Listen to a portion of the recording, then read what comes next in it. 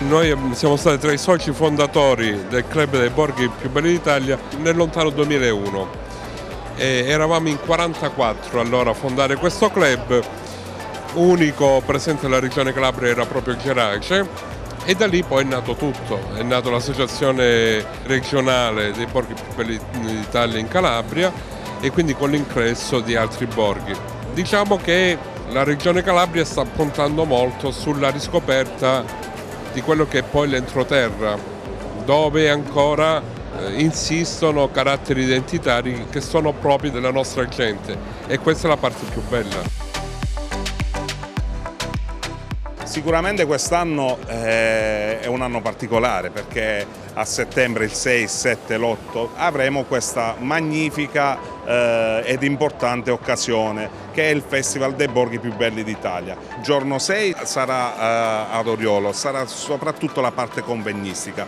7 e 8 settembre saremo a Rocca Imperiale e qui a noi è venuta in mente una cosa, quella di non buttare eh, come si fa in genere eh, le associazioni, i borghi sotto a degli stand di plastica, ma quello di aprire i magazzini, cioè rendere ancora più partecipe la popolazione. Anche questo è un bel segno di comunità e di dialogo insieme ai nostri concittadini. Poi ci sarà la parte dei concerti, la parte dell'enogastronomia, sicuramente il nostro Limone GP la farà da padrone.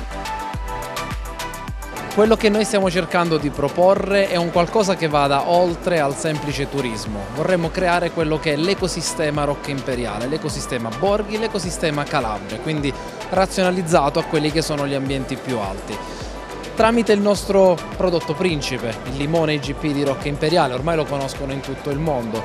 Cos'è che vogliamo fare? Anche tramite queste importanti vetrine nazionali e internazionali come quella che sarà di settembre il Festival dei Borghi. Ecco, creare quello che è un turismo esperienziale a 360 gradi. Il festival è un evento per noi importantissimo, l'abbiamo ricercato, richiesto, abbiamo lottato per averlo e l'abbiamo ottenuto e ci abbiamo tenuto soprattutto per l'Alto Ionio che è un territorio spesso marginalizzato ma pieno di bellezze e quindi era ora che quel territorio avesse una vetrina importante a livello nazionale e internazionale. Oriolo è capofila, quindi accoglieremo le delegazioni di tutti i paesi ospiti e aspettiamo 360 paesi che verranno quel giorno a Oriolo. Ci siamo organizzati con un team di tecnici che ci stanno dando una mano in quella che è la parte dire, logistica e organizzativa e noi ci siamo impegnati dal punto di vista politico e amministrativo nell'organizzare meglio il nostro borgo con un'importante azione di riqualificazione che abbiamo messo in essere da un paio di anni e che ci troverà sicuramente pronti all'accoglimento di così tante delegazioni.